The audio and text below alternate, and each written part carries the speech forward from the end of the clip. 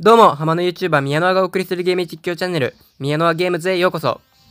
はい、今日はね、僕のポケモン GO のね、進行状況をちょっとお伝えしたいなと思い、動画撮ってます。なんとね、はい、まあ、なんとねっていうほどでもないんですけど、えー、とりあえずね、捕まえたポケモン50超えました。はい。52ってことでね、うん。こんな感じで、えー、着実にポケモンがね、捕まっております。で、トレーナーレベルはね、え、15までやりました。で、僕が捕まえたポケモンですね。はい。左上ご覧ください。ゴルダック1008ですね、CP。うん。えー、はじ、初めて CP が1000超えました。はい。まあね、周りのジムとか見るとね、あの CP1000 超えとか2000超えとか、まあ軽く超えてる人いるんですけど、まあ僕はようやく超えたって感じですかね。うん。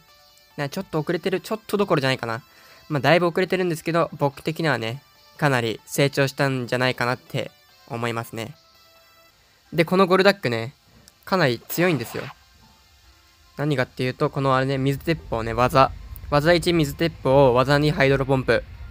これタイプ1でね、かなり使えます。ゴルダックね。なんで育った方がいいのかな？ちょっとわかんないんですけど、どうなのかね？ゴルダックってポケモン GO で言うと強い方に入るのかな？その辺ちょっとわかんないんで、コメントいただけると嬉しいんですけど、うーん、まあ僕の中で今一番 CP 高いんでね、育てたいなと思います。で、二人目ね、はい、大将。エレブね。これね、以前、卵で孵化させたね、10キロ卵で孵化させたエレブです。こいつもね、電気ショック10万ボルトで、うん、いいんじゃない？だ10万ボルトは雷だといいっていう話を聞いたことがあるかな、確か。で、こいつもね、まあちょっとエレブの飴がないんで、もう育てようがないんですけど、うん。まあ僕の中でね、CP2 番目に高い感じです。で、これでね、牧師紹介は終わりにしたいと思うんですけど、あの、次の動画でね、ちょっと、あの、進化させたポケモンが結構たくさんいるんですよ。ヤドンとか、うん、コダックはどうしようかな。コンパンとかね。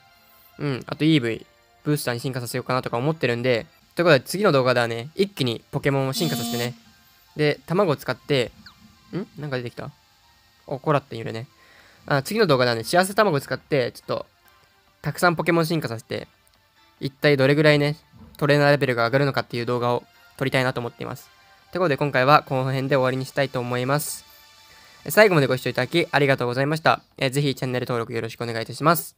えー、僕の実写チャンネル、宮野チャンネルの方は、えー、動画の説明欄の方からね、URL 載せておきますので、そちらの方も動画見てもらえるとありがたいです。